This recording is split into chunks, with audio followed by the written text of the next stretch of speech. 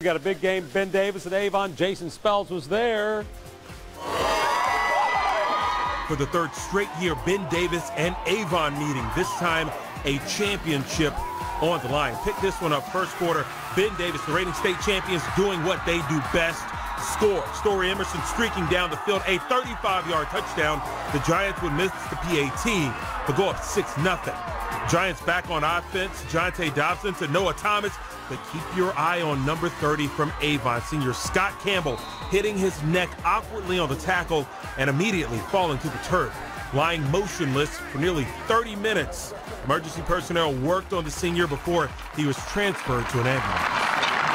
I spoke with one of Avon's assistant coaches. He tells me Campbell did have feeling in his extremities before he was loaded into the ambulance. When play resumed, Avon returned inspired. Brian Fitzgerald, an 18-yard sprint for the score. Avon knocks off the defending state champion Ben Davis Giants 27-22 from Hendricks County. I'm Jason Spells for Operation Football.